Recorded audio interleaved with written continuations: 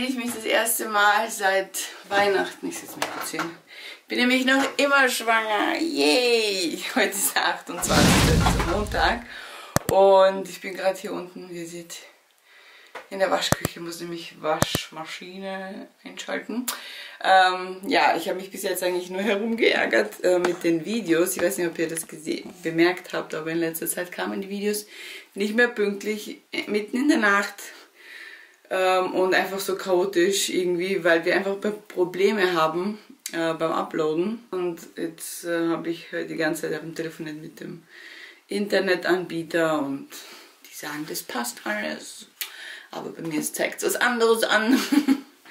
Und das ist halt so ein bisschen ärgerlich, jetzt habe ich damit ein bisschen herumgeärgert. Und ja, so viel äh, zu den Videos. Ähm, jetzt ist ja Weihnachten vorbei, jetzt kommen ja keine Weihnachtsvlogs mehr. Ähm, aber wir werden natürlich regelmäßig jetzt weiter vloggen, vielleicht nicht täglich, vielleicht nur so jeden zweiten Tag, bis das Baby dann kommt. Mal schauen. Also ähm, wir halten uns das noch so ein bisschen offen. Äh, danke für so viele Kommentare. Viele haben geschrieben, ja, gönnt euch die Zeit. Einige sagen natürlich, sie würden es jeden Tag gucken. Es ist äh, auch natürlich voll toll. Aber ich muss halt auch für uns irgendwie schauen, dass wir so eine Balance finden. Ja, wie ihr seht, ich bin halt wie gesagt immer noch schwanger, Gott sei Dank. Ich freue mich. Ich wünschte, ich wünsche mir, dass das Baby dann im neuen Jahr geboren wird und nicht jetzt zu Silvester oder so. Das wäre jetzt äh, nicht so cool. Aber wenn er kommen möchte, natürlich darf er das. Und sonst ähm, Updates von uns. Wir haben die Weihnachtsfeiertage eigentlich ziemlich viel gechillt, gegessen, gechillt. Wir haben in Österreich auch Lockdown, das bedeutet, die Geschäfte sind geschlossen, außer Lebensmittel, dies, das. Ja, äh, sonst gibt es eigentlich nicht viel zu sehen. Ja, wir haben noch nicht besonders viel gemacht. Das mit dem Internet war jetzt das Highlight sozusagen. Ja, und ich werde jetzt auf jeden Fall mal schnell die Waschmaschine einschalten und raufgehen und mir einen Kaffee machen. Der Papa ist aktuell ähm, unterwegs, weil der bringt die Pakete zur Post äh, und ähm, also das sind nämlich die Planer, die ihr immer so fleißig bestellt, die Mambus-Planer, weil ähm, einige haben wir schon vor Weihnachten weggeschickt, dann sind nach Weihnachten noch Bestellungen reingekommen und die haben wir heute jetzt, also die bringt er jetzt gerade weg. Und die Kinder sind alle oben, wir spielen, machen Puzzles, solche Sachen halt die ganze Zeit ja, deswegen jetzt genug gelabert, jetzt geht's ran an die Wäsche.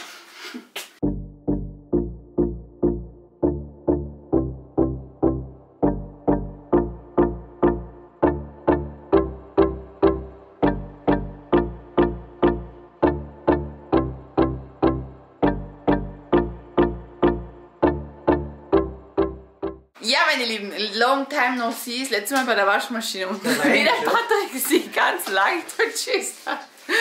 Ähm, wir waren jetzt einkaufen, Lebensmittel einkaufen, war heute ja der erste Tag nach den Feiertagen, wo offen war. Und äh, ich habe mir gedacht, ich nehme die Kamera jetzt nicht mit, weil ihr habt jetzt die letzten beiden Malen einkaufen gesehen. Aber ich zeige euch natürlich schnell, was wir eingekauft haben. Der Papa hat hier schon für die Doggies gleich was.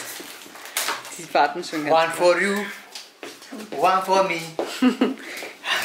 Komm schon, Papa, mach jetzt hier kein Drama. Zuerst Kuss. Komm, zuerst ein Kuss. no Kuss, no Knochen. Papa, du musst denken, das ist ein schlechtes Timing, glaube ich. Gib mir Kuss, gib mir Kuss. Nur Augen für das Fleischstück. Gib her, Baba. Gib. Pass auf, die Emmy gibt den Zungenkuss. Beef, der Beef spielt mit dem Ladekabel. Hör auf, Beef. Wow. Ich war jetzt kurz unten noch mal eine Waschmaschine einschalten. In der Zwischenzeit hat der Patrick die gesamten Einkäufe verräumt. Ich wollte das noch herzeigen. Mister. Das ist, bitte, warte, kannst du mal ein nettes, freundliches Lächeln zeigen? Leute glauben immer, du guckst so böse. Das ist nämlich sein, wenn die Mama vloggt, Kameragesicht. Komm, wie zeigst du uns noch mal den, wenn die Mama die Kamera. Patrick! Patrick? Patrick? Weg ist er. Ah, das ist der Junge. Ähm, ja, auf jeden Fall hat der Patrick schon äh, 90% der Sachen weggeräumt. Jetzt ist er wieder da. Wohin gehst du denn mit dem Tee? Ja, also ich zeige euch mal, was noch draußen ist. Also wir haben für die Hunde Knochen. Wir haben Coca-Cola in Glasflaschen gefunden und gleich gekauft. Haben wir zwei Stück mitgenommen. Dann Tomatenketchup, Mandarinen, die Lieblingsjoghurt der Kinder. Boah, ich bin sowas aus der Puste. Puh. China Cola haben wir gekauft für chinesische Nudeln. Dann faschiertes. Der Baba macht heute faschierte äh, Leibchen, also so Kiftelle. Dann haben wir auch Hühnerfleisch gekauft. Pizza, Kokos, Raspel. Ich möchte nämlich wieder so einen leckeren Kuchen backen, den ich auf Instagram gesehen habe. Muss ich unbedingt nachmachen. Dann habe ich mir einen neuen Pfannenwender gekauft. Weil meiner schon richtig im Arsch Wie ist. viele Schütte haben wir jetzt? Zwei oder drei gekauft? Zwei haben wir gekauft. Und wir machen jetzt, gibt ja auch zwei. oder? Eine haben wir gesagt. Und eine mache ich mal wieder Spaghetti Bolognese, oder? Papa, schau. Falls ihr wundert, Papa trägt keinen Lippenstift. Schau mal her. Was ist das? Das schmeckt richtig lecker ekelhaft. Die Luisa mag noch Mandarine. Noch Mandarine. Wir haben eine Lara eingekauft, Papa, schau. die ist so Wow, so schön. schön angezogen. Patrick, jetzt. Diese Verpackung ist so blöd. Zeig mal den Mund. Uh, la la, hübsch. Kannst du das in, ins Vorrat... ja, der Papa hat Ich habe sich geschminkt. von Mama verwendet. Eieiei. Ich werde jetzt den Kuchen backen, was ich äh, vorhab. Oder? Wie Cornflakes essen. Der Papa kocht jetzt faschierte Leibchen. Das ist ähm, Kakao. Kakao. Kakao. Ja, Kakao. Kakao. Das ist nicht weh, das ist yummy. Ist ja yummy. Nee. Gib her die Kokosraspeln, ich dann. Schmeckt lecker Kakao. Schmeckt lecker, Kakao, richtig. Einmal das an. Ja, Lisa, gibst du mir den Schüssel? So. So, meine Lieben, ich bin jetzt äh, mit Papa in der Küche. Ich werde jetzt backen. Ich zeige euch gleich. Ich habe mir alles hier vorbereitet. Also, Zucker, Eier. Eins habe ich schon kaputt gemacht. Ist mir ja irgendwie irgendwas draufgefallen. Typisch äh, Diana halt. Dann habe ich hier Öl, Milch, Vanillepaste, ein bisschen Kuvertüre und Kokosraspeln. Braucht dann noch Butter. Hier die Colaflaschen, die muss man dann rausstellen, gell? Zum Kühlen, Baba, oder? Denn? Ja, ja. Ja, der Baba, der ist ja auch schon brav am Kochen, wie ihr sehen könnt. Der macht Fleischbällchen. Ja, genau. Ja, stimmt.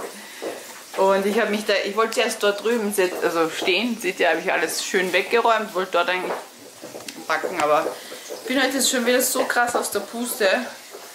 Mein Kreislauf ist heute ein bisschen schlechter als sonst. Ähm, obwohl ich heute den ganzen Tag, also eigentlich ständig in Bewegung war, weil wir waren, ich habe ja, ja Wäsche waschen rauf, runter die Treppen, dann auch äh, einkaufen gewesen. Bei mir hat das gar nichts mit Bewegung zu tun oder sonst irgendwas. Das ist ja nicht no normaler niedriger ähm, Blutdruck, so wie man es kennt, von anderen, die da wirklich darunter leiden, als Krankheit oder als so wie hoher Blutdruck, gibt es auch niedrigen Blutdruck. Bei mir ist es halt durch die Schwangerschaft, wenn das Baby zum Beispiel so auf diese, äh, wie heißt diese große Vene drückt, Aorta. nein, weiß ich nicht, nicht der Ort, aber es Arterie. irgendeine wichtige Vene auf jeden Fall, wo das Baby drauf liegen könnte. Wenn das dann ist, dann hat man niedrigen Blutdruck. Und es ist ganz normal. Aber ich habe schon Kommentare bekommen, äh, ja, man hilft nicht nur im Bett liegen. Ich liege gar nicht nur im Bett. Es scheint vielleicht, dass ich vielleicht nur im Bett liege, aber ist ja nicht so der Fall. Aber ich muss halt dann öfter sitzen, weil mir wird so schwarz vor den Augen, dass ich Angst habe, dass mich äh, umkippt. Ja, deswegen sitze ich jetzt hier und backe hier meinen Kuchen.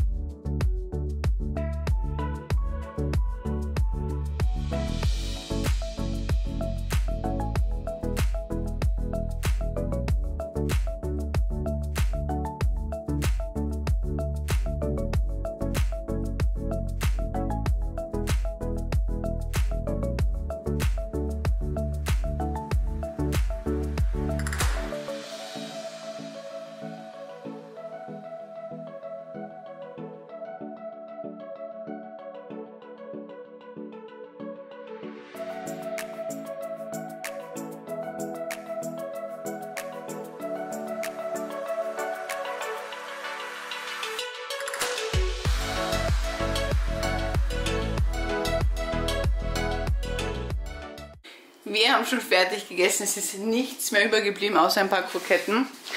Aber das Fleisch von Papa ist ratzeputze weg. Nichts mehr da. Was wollen Sie von mir? Was? Bist du ein kleiner Affe? Du bist ja ein Affe. Ich verstehe nicht, so viel will irgendwas von mir, aber keine Ahnung. Auf jeden Fall, die Kinder sind schon alle wieder weg, wie ihr sehen könnt. Und ich mache jetzt gleich diesen Kuchen weiter. Ich sag's wieder, das ist so fluffig und so lecker. Ich habe das Rezept von einer Instagram-Seite. Und der wird jetzt hier in diese ähm, ja, so Kuvertüre. Ich habe hier so Schokolade, also Kuvertüre, Milch und Butter äh, schmelzen lassen, wie eine Ganache. Und danach kommt das Ganze noch in Kokosraspel. Und ja, das werde ich jetzt gleich machen.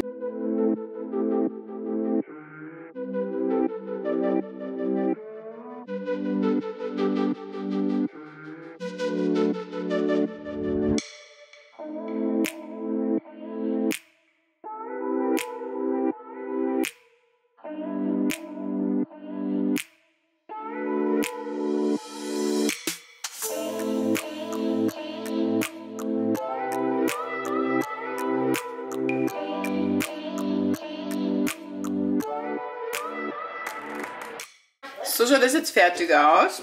Wir haben leider nur zu wenig Kokosraspeln gehabt. Aber es macht gar nichts, weil der Papa und ich dunken jetzt das da rein. Das ist richtig. Gesund. Also, man nehme ein bisschen Kuchen, Man tunkt so rein. dann tunkt man es in die Kuvertüre Und dann steckst man in den Mund rein. und dann Zunehmen ist angesagt. Bikini-Figur 2023 willkommen. Das heißt ohne Bikini. Solche Größe gibt es nicht mehr. Man sagt, wer nackt geht, kann, also wer nackt badet, braucht kein Bikini-Größe. Wieso? Das ist nackt, oder? Ja. Also, Diesen kaufe ich mir nie. deswegen hast du kein Bikini, oder? Nur BH. Mm, das ist lecker. Gut. Räumen wir die Küche auf. Geh mal Hände waschen, Papa. Ich würde mal sagen, mit dieser Hand räume ich das Geschirr aus. Jetzt wird gepuzzelt, unsere neue Leidenschaft. Die ist sicher ja, bei uns so richtig bei allen Familienmitgliedern, außer beim Papa.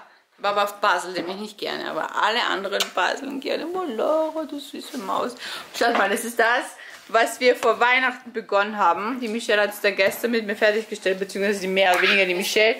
Die hat das dann heute komplett fertig gemacht und das war echt nicht so leicht, weil es durch diese Ölbilder Malerei-Effekt was Alles irgendwie so verschwommen, ja. Und jetzt machen wir es kaputt. Machst du? Ich will kaputt machen. Na gut. Ich hab hier, gebaut. aber nicht kaputt machen für immer kaputt, sondern nur so. Ja. Und die Michelle macht jetzt gleich das nächste auf, weil das machen wir jetzt gleich. So. Ule, ule, ule, Oh, ule. Lara, nicht so, weil dann, geht, dann verlieren wir das. So. Rein damit, aber nichts verlieren. Endlich habe ich wieder ein 1000 Puzzle. Du, das ist meins. Okay, dann deins, aber ich werde aufbauen. Wir bauen es zusammen auf. Deal? Also meine Zeit wird ich wahrscheinlich Ja. Hey meine Lieben, vorhin waren wir ja noch zu Hause am Puzzle gemacht und jetzt sitze ich im Auto. Ich habe jetzt nämlich vorhin den Papa ähm, ins Krankenhaus gefahren. Ihm ging es plötzlich mega schlecht, also wirklich mega schlecht. Was ich ja heute nicht im Vlog, glaube ich, noch gar nicht erwähnt habe.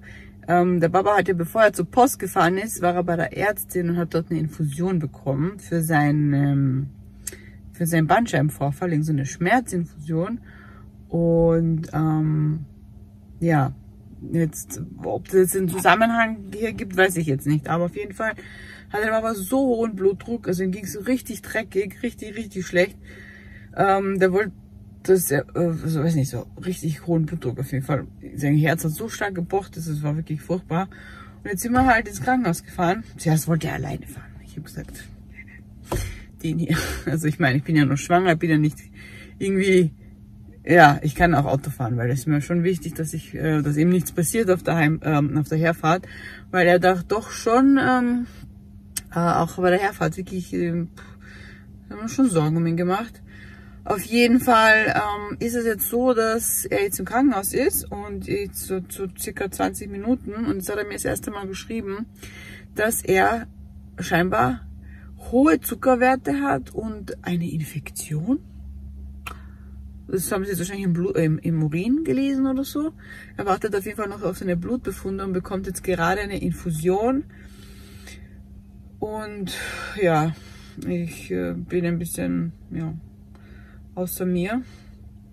Ich mache mir schon krass Sorgen, weil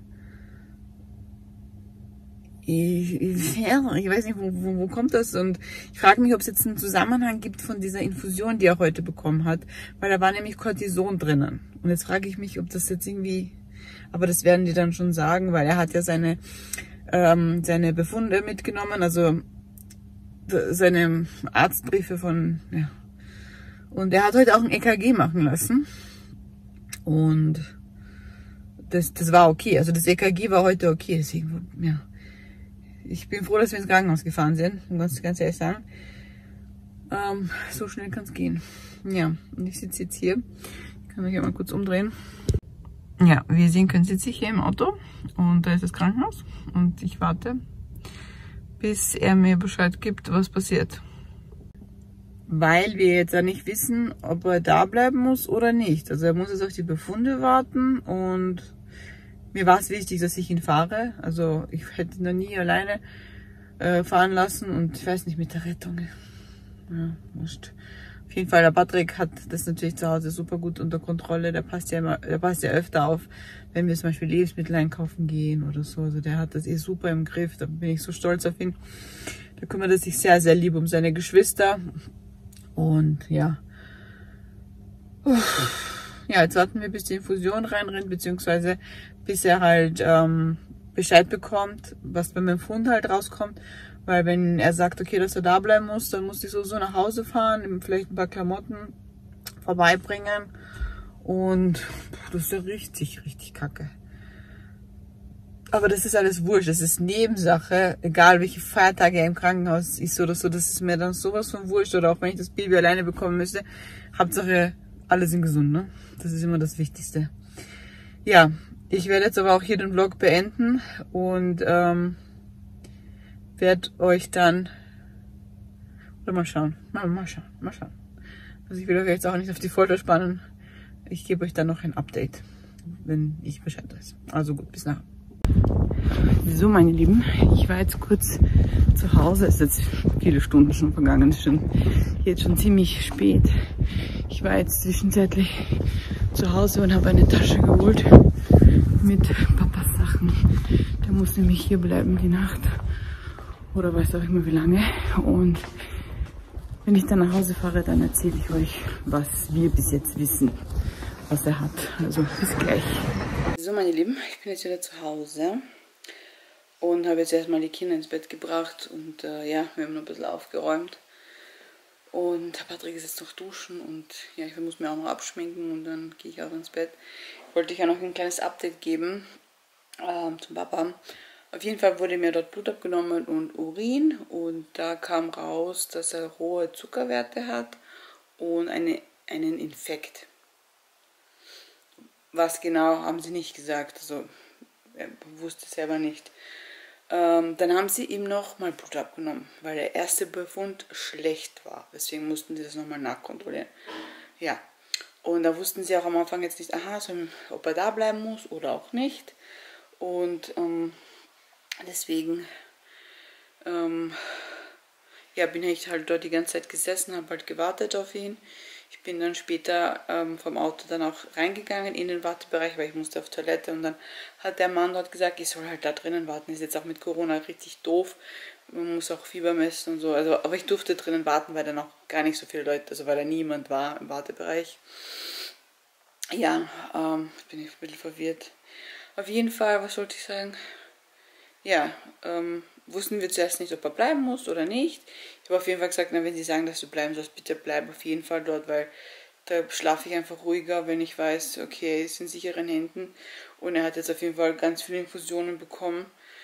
Ähm, und sie haben insgesamt viermal Blut abgenommen. Viermal. Das ist etwas, was mich schon beunruhigt, muss ich ganz ehrlich sagen, weil ähm, sie nehmen nicht einfach nur so viermal Blut ab, sondern da ist irgendwas, dass sie nochmal gegenchecken wollen und nochmal gegenchecken wollen. Das hat mir halt schon ein bisschen Angst gemacht, muss ich ganz ehrlich sagen. Wobei er mir das vorhin geschrieben hat und er gesagt hat, dass. Ah ja, sie haben ja auch ähm, Zucker im Hahn gefunden, was nicht gut ist. Ne? Das deutet auf Diabetes hin. Er hat jetzt geschrieben, äh, dass die Herzwerte wieder besser sind. Diabetes steht noch in Frage, also das wissen wir jetzt nicht ganz genau, ob das äh, auf jeden Fall da jetzt rauskommt, aber wahrscheinlich, aber wir wissen es nicht ganz genau. Er muss seine Ernährung umstellen, der Bauch muss weg und es lässt deuten auf einen Herzinfarkt. Das weiß ich nicht, was er damit meint. Ob das ein Herzinfarkt war, was er heute hatte, weil, äh, also, er hat den ganzen Tag echt seltsam ausgeschaut, so weiß und käsig im Gesicht, so richtig komisch, irgendwie so, irgendwie fremd. Ähm, ja, auf jeden Fall hoffe ich, dass ich dann morgen mehr weiß, morgen mehr erfahre. Und ähm, ja, bin natürlich auch gespannt, ob, er, ob ich ihn besuchen darf und wie lange er dort bleiben muss. Also Corona wurde auch getestet übrigens. Ist Corona negativ. Weil die, die erste, als ich gehört habe, Infektion war für mich so, hoffentlich kein Corona. Also, aber er hat auch gar keine Grippe, äh, Grippe-ähnlichen Symptome. Ich weiß, man muss keine Symptome haben, aber trotzdem, man macht sich dann auch schon Sorgen. Aber ja, ich bin so froh, dass wir ins Krankenhaus gefahren sind. Ihm ging es auch wirklich schlecht. Also wir sind jetzt auch nicht die Typen, die wegen jeden Pups in die Notaufnahme fahren. Aber wenn es wirklich schlecht ist, dann muss es sein. Ne? Ja, na gut, mein Lieben. Ich habe euch ein kleines Update gegeben, mehr weiß ich leider auch nicht. Ähm, ich muss mich ein bisschen sammeln. Mein Gehirn ist so ein bisschen am Rattern und äh, in der Zeitphase, wo ich nichts wusste, was es genau ist, habe ich mir natürlich jeden Scheiß ausgemalt. Ähm, aber ich muss äh, oder darf mich auch nicht verrückt machen. Morgen kriegen wir wahrscheinlich noch bessere äh, Fakten dann zu hören nach, dem, nach der Visite vielleicht. Ja, mal schauen. Na gut, ich werde euch auf jeden Fall auf dem Laufenden halten und ähm, werde mich jetzt vom Vlog verabschieden, mich abschminken und ins Bett gehen. Und ähm, dann sage ich Tschüss und bis zum nächsten Mal.